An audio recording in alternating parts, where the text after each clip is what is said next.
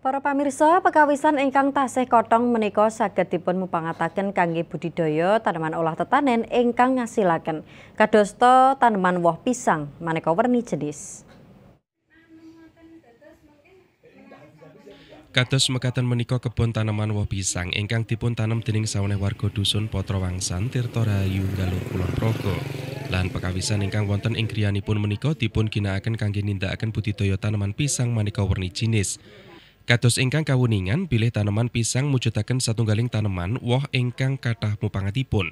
Meh sedaya peranganipun saged dipun mupangataken wiwit saking debok ron lan temtunipun pisangipun. Awit saking menika piyambakipun milih nanem maneka werni jenis pisang wiwit saking pisang kepok, raja, ambon lan sak piturutipun. Menawi asilipun sae lan kathah woh pisang menika saged dipun sade minangka kangge nambah wulu wetu. Menapa dene dipun dhahar piyambak kangge nyekapi kabetan vitamin ingkang dipun betahaken dening badan. Keporo pisang menika mujudaken satunggaling woh ingkang kathah dipun padosi dening bakul nyamikan amargi saged dipun olah dados maneka werni nyamikan ingkang raosipun eco. Boten wonten pangrimatan ingkang mirunggan ing salebeting budidaya pisang menika.